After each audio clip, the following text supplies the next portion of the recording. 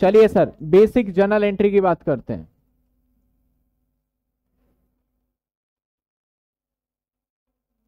यानी सर, हम बात कर रहे हैं अभी इंस्टॉलमेंट का। कहानी क्या है सर? कहानी ये है कि आपके शेयर जो होगा, वो दस रुपए का हो सकता है और दस रुपए को ही क्या बोला जाएगा? फेस वैल्यू बोला जाएगा। दस रुपए को ही क्या बोला जाएगा? फेस वैल्यू बोला जाएगा।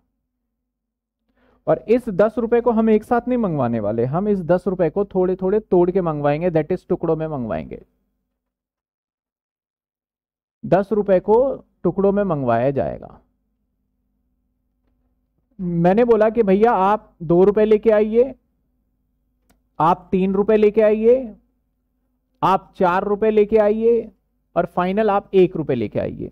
अगर कई बार बोल दिया जाए ना लास्ट वाले को कि आप बैलेंस लेके आइए तो आपको पहले इन टोटल करना पड़ेगा और टोटल में से इसको माइनस करके फिर पता कर लेना चाहिए कि कितना बैलेंस मांगा गया है। तो यानी कंपनी ने मांगा। पहली बार को क्या नामकरण किया था एप्लीकेशन दूसरी बार को क्या नाम बोला था अलॉटमेंट तीसरी बार का फ़र्स्ट कॉल और लास्ट वाले का या फाइनल बोल लो या फिर सेकंड कॉल बोल सकते हो आप। सर जर्नल एंट्री में पहले वाले की बात करूँ तो क्या जर्नल एंट्री होने वाला है?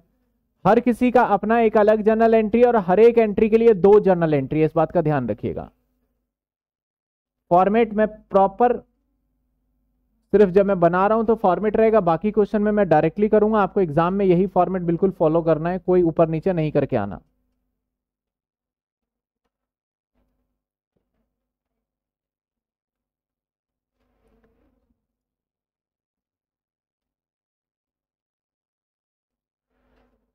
Sir L F debit amount credit amount L F debit amount, credit amount.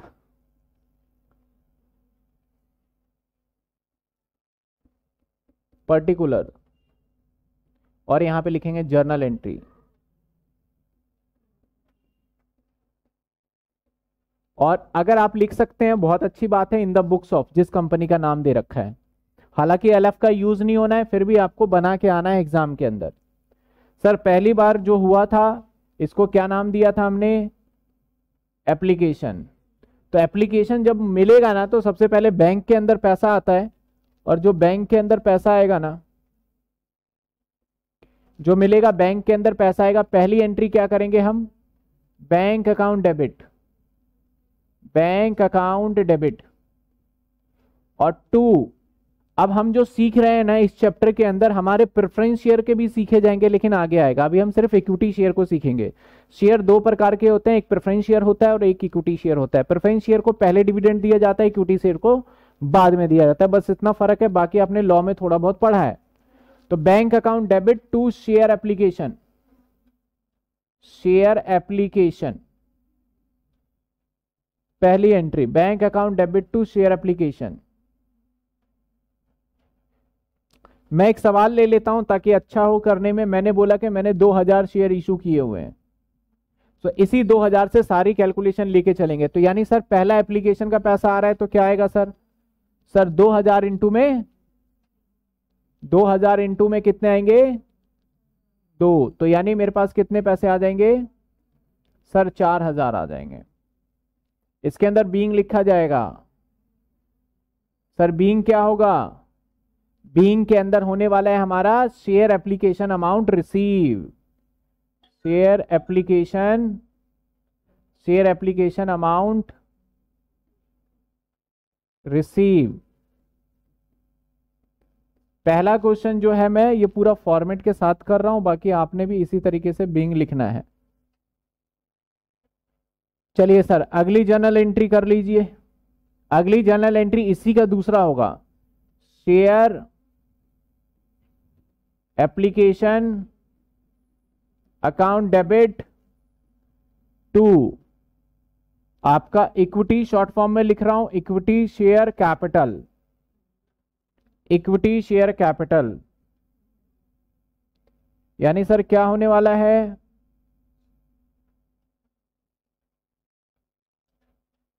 Being being share application amount transfer to share capital account मैंने थोड़ा शॉर्ट फॉर्म यूज़ कर लिया है। सर, दो एंट्री अब इसको समझते हैं, सर, ऐसा क्यों? इसका मतलब क्या है? देखिए, सबसे पहले आप ना मुझे पैसे देंगे। मैंने कहा, मेरी कंपनी के अंदर आप शेयर्स को अप्लाई करिए। तो आप ना एक फॉर्म भर के देते हैं। वैसे हालाँकि अब तो डिजिटल फॉर्म हो गया है, लेकिन आप क्या करते हैं? नॉर्मली आप फ़िज़िकल फॉर्म में आप मुझे फॉर्म भर के देते हैं। तो फॉर्म जैसे भर के देंगे तो मेरे पास पैसा आएगा और मेरे ऊपर लाइबिलिटी क्रिएट होगा। पैसा आया बैंक मेरा डेबिट हो गया लाइबिलिटी क्यों क्रिएट हुआ? क्योंकि मेरे पास ये एप्लीकेशन आया। इस एप्लीकेशन के बदले मुझे कुछ देना है तो एप्लीकेशन मेरा क्रेडिट हो गया। जैसे ही इस एप्लीकेशन के बदले मैं आपको शेयर कैपिटल यानी शेयर सर्टिफिकेट दे दूँगा तो ये एप्लीकेशन डेबिट होकर खत्म हो जाता है और उसके बाद फिर फाइनली क्या हो जाता है? हमारा इक्विटी शेयर कैपिटल दे दिया जाता है। तो इस तरीके से ये दो एंट्री हमारा यहाँ पे जनरेट होता है। सर इसके बाद अगला नंबर किसका होगा सर ये है हमारा अलॉटमेंट हालाँकि अलॉटमेंट का मतलब देना भी होता है, लेकिन यहाँ अलॉटमेंट का मतलब ये भी है दूसरे नंबर वाला। तो अलॉटमेंट की एंट्री क्या करेंगे? सर अलॉटमेंट की एंट्री क्या करेंगे? सर कंटेंट में ट्वेल्थ का मटेरियल डाल दिया है बेसिक क्लियर हो जाता है उससे। कोई दिक्कत नहीं मैं फटाफट से शॉर्टकट लेके चल रहा हूँ, चिंता मत करिए आप। कंटेंट में डाल दिया ट्वेल्थ वाला, फिर भी ये सारे आपके इंपॉर्टेंट है। ऐसा नहीं है कि हम बस ऐसे ही करे जा रहे हैं। कोई दिक्कत नहीं, आज देखिए थोड़ी सी लंबी क्लास लेके इसको कर देते हैं खत्म।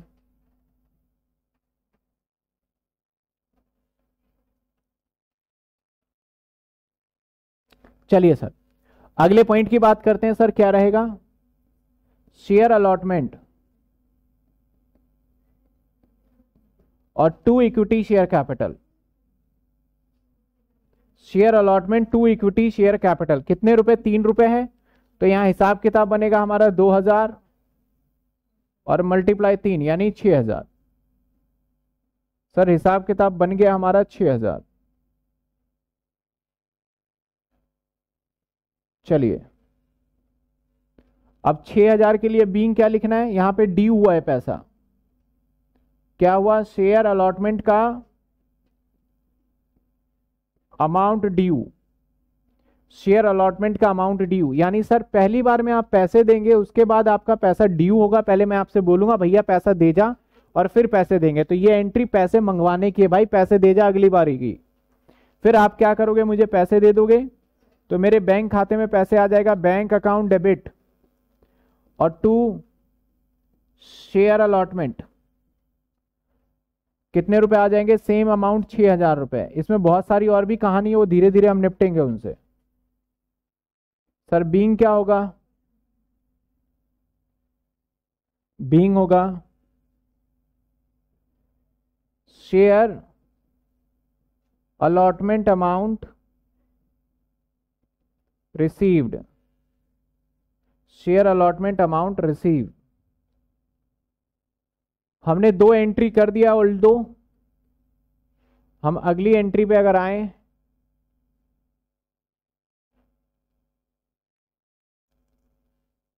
तो देखते हैं क्या रहता है। चलिए, हम आ जाते हैं नेक्स्ट एंट्री पे। यानी फ़र्स्ट कॉल एक बार एडजस्ट कर दें इसको। ठीक है सर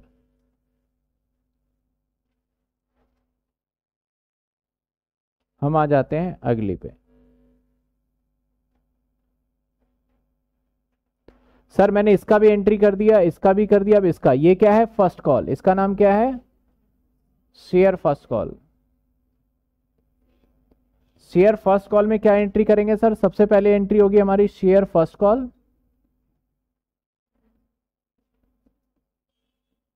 account debit और टू आ जाएगा इक्विटी शेयर कैपिटल टू आ गया इक्विटी शेयर कैपिटल इसका बींग क्या होगा सर सर बींग वही रहेगा जैसे पहले लिखते थे। Share first call amount due due का मतलब बाकी। अब आप मुझे पैसे दोगे? और सर पैसे दोगे तो मेरे खाते में पैसे आ जाएँगे बैंक के अंदर। तो एंट्री करूँगा bank account debit to share first call. और सर, ये अमाउंट अगर मैंने लिखा नहीं तो चार रुपए है। तो क्या आएगा सर? दो हज़ार गुना में चार। यानी आठ हज़ार आठ हज़ार आठ हज़ार आठ हज़ार। सर, ये एंट्री भी हो गया डन बीइंग क्या होगा? बीइंग होगा share first call amount receive share first call, amount receive.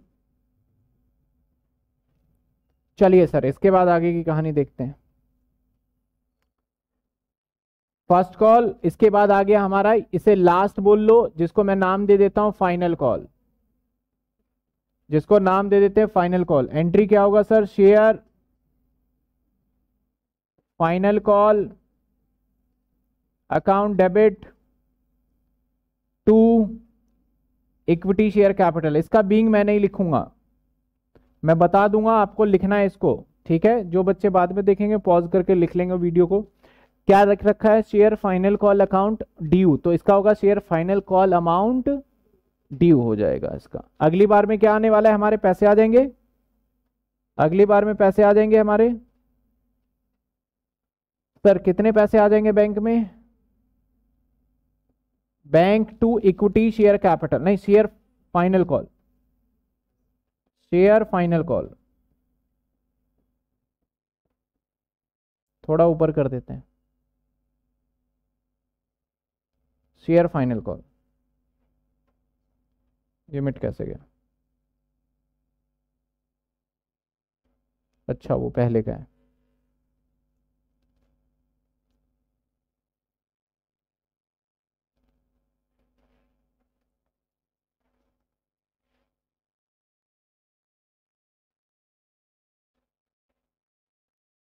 चलिए लिख देते हैं।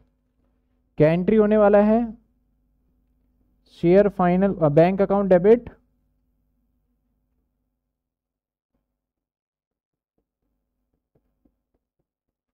to share final call sir final call देखो एक रुपए का तो एक इंटू में दो हज़ार। That is two thousand rupees two thousand rupees और 2000 और 2000 मैं सिंपल सी बात करूँ, अब देखना एंट्री को थोड़ा समझने की कोशिश करना। आप सर, क्या समझे हम एंट्री में? पहला था हमारा एप्लीकेशन एप्लीकेशन की दो एंट्री पहले पैसे मंगाए, फिर सर्टिफिकेट दिया। पहले पैसे मंगाए, फिर सर्टिफिकेट दिया। उसके बाद अलॉटमेंट अलॉटमेंट की दो एंट्री पहले आप, जब एक बार आपने पैसे मांग लिए एप्लीकेशन तो आपकी जान पहचान होगी। फिर अगली बार पहले पैसे मांगोगे, फिर आप उस वो आपको पैसे देगा। तो यहाँ पे भी पहले आपने मांगा है, फिर पैसे दिए हैं। यानी सिंपल सी बात है, सर, ये किसकी एंट्री है? मांगने की। आपने मांगा है पैसा। और ये आपका क्या है? पैसे रिसीव करने का। आपको पैसे मिल गए हैं। उसके, नहीं, मैंने ऊपर नीचे कर दिया। अच्छा ऊपर नीचे हो गया है। तो ये किसका था, सर? मांगने का और ये रिसीव करने का था। ये लो आ गया। ठीक है? अब अगर अगली बार भी देखें तो फिर से पहले हमने मांगा है ड्यू किया है, फिर रिसीव किया है, फिर मांगा है, फिर रिसीव किया है। लेकिन पहले एंट्री के अंदर क्या था? पहले आपको मिला है, फिर आपने उसको शेयर्स दिए हैं। तो ये कुछ बेसिक एंट्री है, जो कि हर सवाल में मुझे करने पड़ सकते हैं। किसी को कोई दिक्कत यहाँ तक बताइए, फटाफट ये बेसिक एंट्री आपको पता होना बहुत ज़रूरी है।